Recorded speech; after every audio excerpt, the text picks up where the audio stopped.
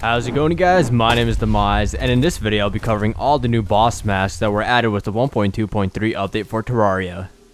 There's a total of 11 different masks, which of course correspond to each of the 11 main bosses that are part of the game, which you can see me defeating and acquiring their masks in the video, but I'm just going to quickly list them all off, and they are the Eye Mask from the Eye of Cthulhu, the Brain Mask from the Brain of Cthulhu, the Bee Mask from the Queen Bee, the Eater Mask from the Eater Worlds, the Skeletron Mask from Skeletron, the Flesh Mask from the Wall of Flesh, the Destroyer Mask from the Destroyer, the Twin Mask from the Twins, the Skeletron Prime Mask from Skeletron Prime, the Plantera Mask from Plantera, and finally the Golem Mask from the Golem.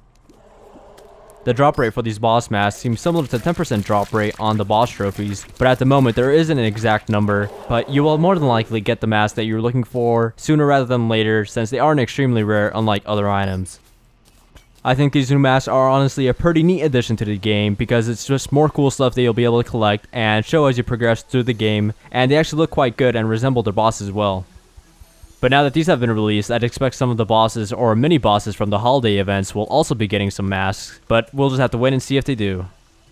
So that'll do it for this video. Let me know what you guys think about these new vanity items in the comments below. And yeah, as always, if you enjoyed the video, go ahead and leave me a like and subscribe for more content. And yeah, have a nice day.